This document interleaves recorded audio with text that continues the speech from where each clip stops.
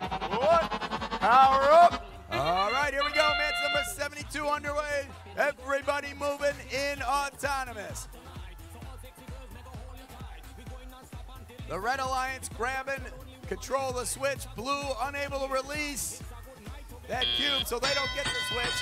But Red is going to get a ranking point at the end of this match. Win, lose, or draw. We go into teleoperator mode. Advantage Red here at the beginning of the match. Blue quickly taking the scale in the center of the field. They've also got the switch on their side. Red, of course, has the switch over on the red side. So here in the early going, you've got blue accumulating at a rate of two points per second. Red's grabbing the points at one per second.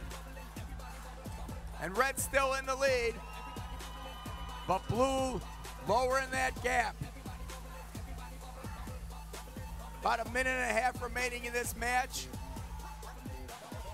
Things staying as they were. Blue with both the scale and the switch on their side. Red with the switch on theirs.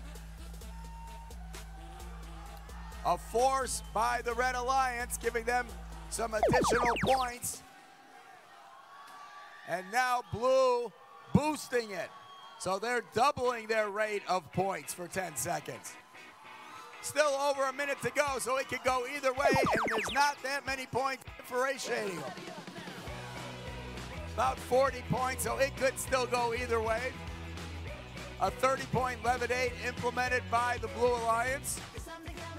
So they just need to get two robots up in the air to get credit for all three facing the boss when we come to the end game. Under 40 seconds to go. 35 and running. Two blue robots sitting over by the blue platform, getting ready to go on. Robo Knights up in the middle, and they're hanging it already. Now another blue robot trying to hook onto the Robo Knights. Let's see if they can do it. By the transitive property, we've got two blue robots up in the air. Awesome execution by the Blue Alliance. Two red robots trying to go in the air, two seconds, one.